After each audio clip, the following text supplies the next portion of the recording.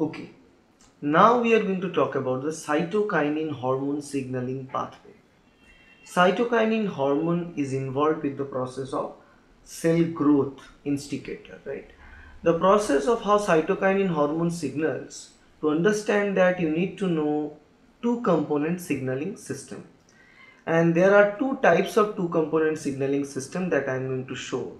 One is the very basic one, another one is involving uh, accessory protein in between.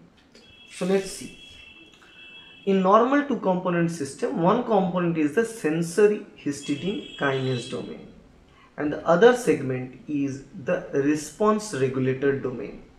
Now the sensory histidine kinase domain is divided into two different parts. One is the input region, another one is the transmitter region. While the response regulator segment is com composed of the receiver region as well as the output region. Now let's look at the signaling that works. We need a ligand for cell signaling, right? So whatever ligand it is, it will come and bind to the input domain and as a result of input domain of histidine kinase and as a result the transmitter gets phosphorylated. Obviously they will take the phosphate from the ATP. This phosphorylated transmitter is now active and now ready to phosphorylate the receiver domain of the response regulator.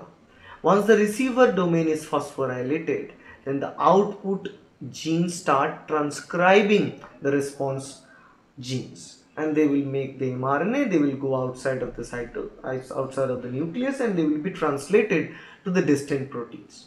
This is action of a two component signal system where these two separate components are not directly linked but they become activated by the phosphorylation and phosphorylation events. Now let's see the two component system involving a third protein.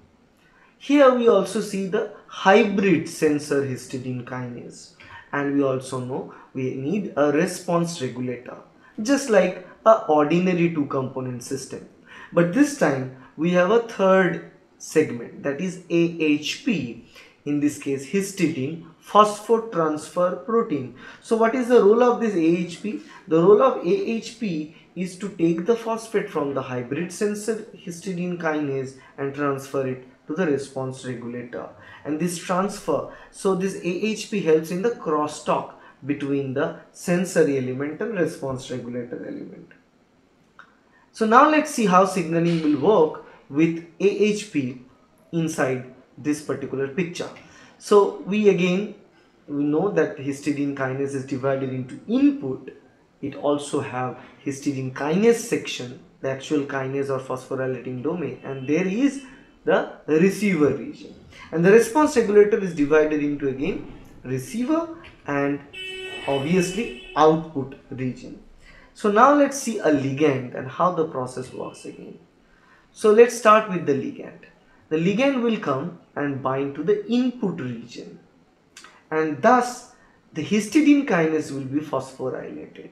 The autophosphorylation of histidine kinase will be done and this autophosphorylation of histidine kinase will transfer the phosphate into receiver domain and the receiver domain again will be phosphorylating the AHP taking the phosphate from ATP while all the phosphorylation process is going on. Once AHP is phosphorylated, that is histidine phosphotransfer protein is phosphorylated, the phosphorylated form of AHP will again phosphorylate the receiver of the response regulatory element and thus it activates the output region, output segment will start transcribing the response regulator genes. So this is how the two component system will work including AHP histidine phosphotransfer protein in between. Now let's see how exactly this whole signaling pathway for cytokinin will work. And to understand that we need to know few things. We need to know the receptor, the ligand as well as the other components involved with it. Just like any signaling pathway we know here, the ligand is the cytokinin itself. Cytokinin itself is the ligand. And Cre protein, CRE1 or CRE1 acts as a receptor in this case. CRE full form is cytokinin response 1 gene.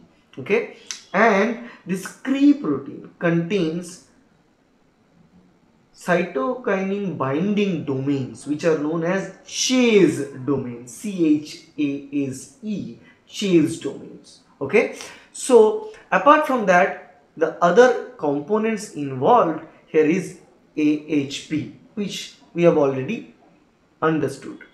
Now the example of this cytokinin response element are AHK2, AHK3, AHK4 and so on in different uh, organisms. AHK full form is Arabidopsis ligand binding kinase protein. So it is normally found in Arabidopsis plants. So now let's begin the process of detailed signaling by cytokinin. So this is the cytokinin ligand and we know we need to have a receptor and I know that the receptor here is this and it this receptor is AHK2, AHK3, AHK4 whatever known as CRE type of receptors and it has a chase domain. So these are the chase domain where the cytokinin will properly bind and interact in the very first time. And it also has this histidine kinase region obviously and it will have the response elements uh, which will rally the signal to the AHP further and the process will uh, be continuous inside the cell. So let's see. The cytokinin is going to bind to the chase domain. And while the cytokinin binds to the chase domain, there is a dimerization of receptors. And this dimerization is done when the cytokinin binds to them. And as a result of dimerization, we know that the histidine kinase region will be phosphorylated and ATP will be utilized. And ATP will be hydrolyzed into ADP and PI and the histidine kinase region which is a cytosolic site will be phosphorylated. And now after the phosphorylation of histidine kinase it will phosphorylate this res response elements. Okay. And now once the D is phosphorylated then comes the third player that is AHP remember the role of AHP we have already discussed histidine phosphotransfer protein okay?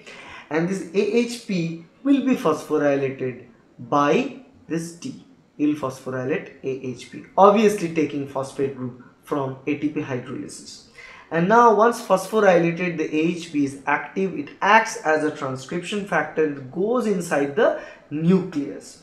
And then we know inside the nucleus we have type B ARR ARR what do you mean by ARR here? Arabidopsis in this case response regulators okay? So these ARR proteins there are two different type B and type A. Type A is more dominant over type B. But first this phosphorylated AHP activates type B ARR and we know type B ARR also has a receiver and an output region. And so AHP is going to bind to the receiver and it's going to phosphorylate the receiver once the receiver of type B ARR is phosphorylated, the output is active and type A ARR transcription will begin because type B here regulates the transcription of type A ARR. So type A ARR transcription starts and type A ARR will be produced in a moment. Apart from that, this type B ARR also instigate and influence the transcription of cytokinin response regulatory genes but in very less amount. So once the type A ARR are already produced, then this type ARR is present in the nucleus and then what will happen? This AHP will also bind to the type A ARR and it will also phosphorylate the type A ARR and as a result of type A ARR phosphorylation, it will start making cytokinin response mRNAs and those mRNA will move from nucleus to the cytoplasm will be translated into the cytokinin response proteins.